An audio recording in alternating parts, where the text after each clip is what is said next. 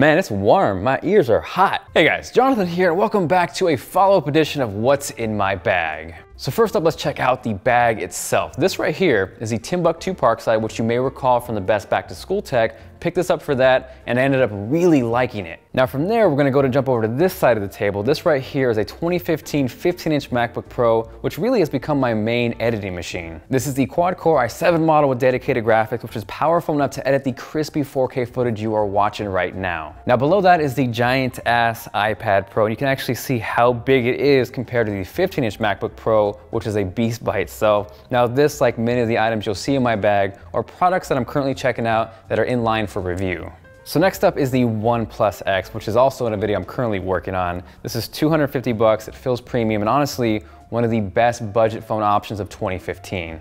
Now next to that is the 2015 Chromecast, aka the Beats by Dre bright ass orange hockey puck lookalike, which is honestly one of the best things you can throw in your bag, especially for me since I've been traveling a lot. Below that we have a really interesting product and concept. This is from Nomad. So the deal here is it takes your existing Apple charger, so assuming you have an iPhone and an Apple charger, and what it's gonna do is basically convert it into an Apple charger on steroids. And what I mean by that is inside here, there's actually an 1800 milliamp hour battery. So while you're charging your phone, you're also charging this and you got some backup juice on the go. So this essentially will give you a full charge on an iPhone, but if you need more power, this monster right here is a 12,000 milliamp hour external battery from Jackery. Now this really isn't fancy, it's an external battery pack which you've all seen before, you got your USB ports, it does have a really nice gold finish which matches the Dream Desk, and of course, maybe most importantly, a flashlight.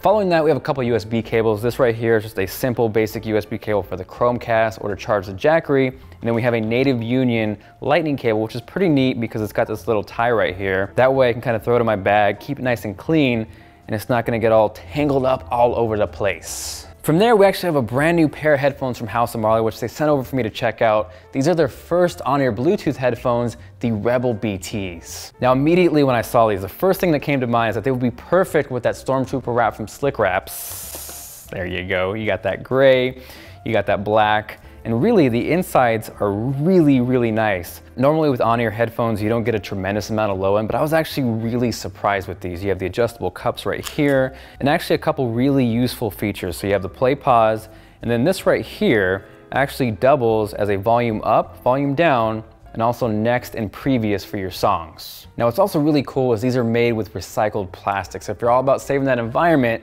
you probably wanna check these out. Now on top of that, they also sent out the Chant Sport right here. So let's go ahead and power this guy on. If you notice the design, that is actually made so it sits right into a cup holder. So maybe you got some crappy car speakers, maybe you went too hard, you blew those guys out. You can place this in your cup holder, get some good sounding audio, and then of course take it with you when you're done. What you know about Marcus Miller? That bass line. You can come dance. It's funky. Richard Elliott. Listen to sax. This is bad.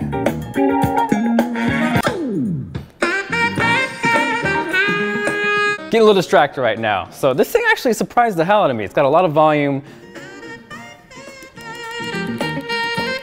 A lot of volume like all House of Marley stuff, it looks good. They use recycled plastic materials, so you're gonna be environmental friendly and you're gonna have some good, crisp sounding audio. Probably getting copyright strikes all day right now, but it's okay. We're doing a what's in my bag video. From there, this is actually a really cool thing from Cocoon called the Grid It. And as you can see, I got the infamous $100 Apple Pencil. It's just a really cool way to hold all your miscellaneous tech. So this right here is a one terabyte Samsung T1 drive, which I use a ton with the MacBook Pro. This and this is the perfect mobile editing solution for me. But as you can see, this thing is tiny. So I would toss it in my bag, wouldn't be able to find it, but this actually is a really cool way to keep things nice and organized. And now I know exactly where it is. USB drive, we got the corresponding USB cable. And yeah, this has become one of the most useful pieces of tech in my bag. You got some zippers. Everybody loves zippers. And that is everything in my bag. Now, big thanks to House Marley. Ah, foot cramp. Oh. Uh, don't don't eat and do tech videos within 15 minutes. Hopefully you guys enjoyed the video. If you did and you are feeling like being awesome, make sure to go Austin Evans on that like button. Now on top of that, House of Marley is also sponsoring a giveaway. So one of you guys out there can win not only these Rebel BT headphones, but also the Chant Sport Bluetooth speaker. And all the details on how to win are linked down below. Can't take my sweater off. I'm hot. I don't have a sweater on. Mr. Rogers. Well, what do you mean I can't take off my sweater? I'm hot!